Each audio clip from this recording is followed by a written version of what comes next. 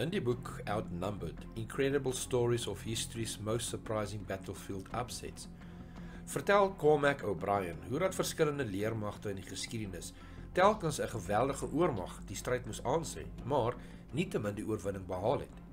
In die een verhaal triomfeer Hannibal en sy 55000 Kartaagse manskappe oor die onoorwinnelike Romeinse leer, 'n leer met 80000 manskappe.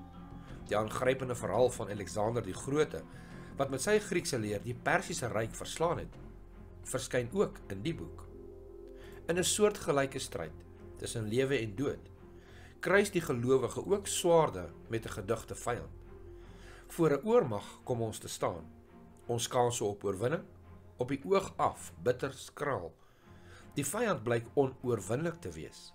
Dit lyk asof nederlaag ons voorland is, asof daar geen sprake van oorwinning kan wees nie.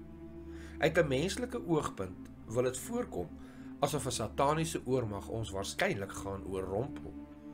Ja, ons het inderdaad voor 'n oormag te staan gekom. Ja, ons kans op oorwinning is menslik gesproke byna nul met alles wat teen ons tel. Ja, ons moet inderdaad Satan se vernietige aanvalle trotseer, maar loof die Here. Ons sal uiteindelik deur Jesus die oorwinning behaal. Dit is juist die tema van die laaste boek in die Bybel. Jesus wen en Satan verloor. Die kern van hierdie stryd word flissies in Openbaring 12 omskryf.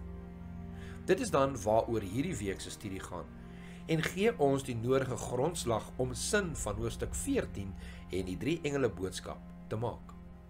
Bestudeer hierdie week se les ter voorbereiding vir Sabbat 1 April.